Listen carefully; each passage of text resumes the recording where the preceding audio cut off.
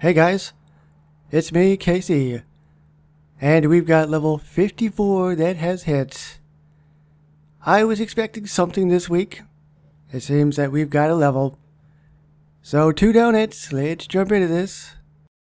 Alright, so we've got Lisa to start. We've also got four items in the corner. Let's get it going, Lisa. Mom, you look sad. Maybe you need some friends. No, I'm just worried I haven't totally cleaned the house. Now I remember, I forgot to vacuum the kitchen with sponges. Have you ever considered that you might be displacing your loneliness through chores? But I love chores. I wish someone would ask me to vacuum more sponges right now. She's so happy. Make Marge vacuum kitchen sponges. Okay. What? No. Don't make her vacuum any more sponges. Take that down. Does that mean I don't have to do the quest? We need some place that will attract you a sophisticated woman friend. Maybe an art gallery or a feminist bookstore. Or maybe Shotkickers. It's Ruth! Ruth Powers! That's awesome! It's gonna cost...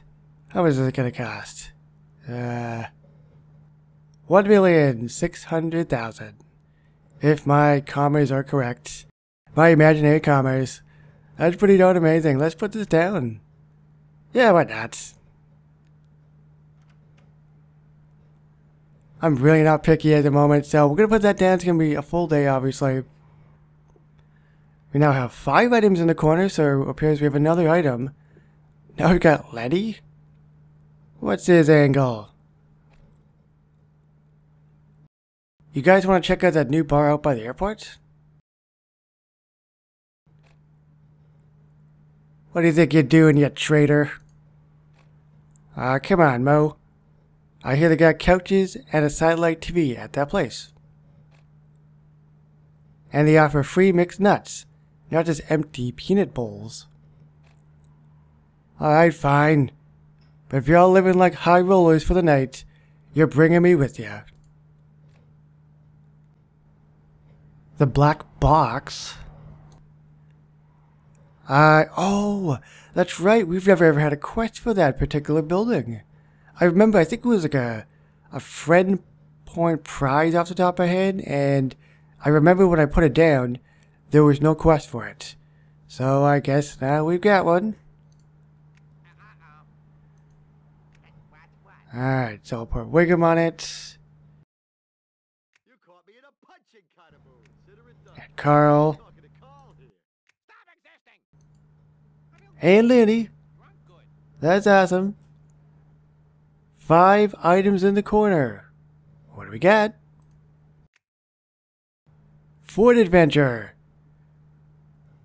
And Mr. Power's car. That's when she steals the car. And they go on that crazy adventure. Homer's Ballet.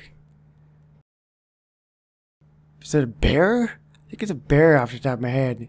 And it goes in a circle. And is that it? What else we got? What else we got? Is that it? Is that it? I'm looking. I think that might be it. No. See Seething Sisters. Catch a Cougar, part number one. So that will eventually pop up, I guess, when we move into level 54.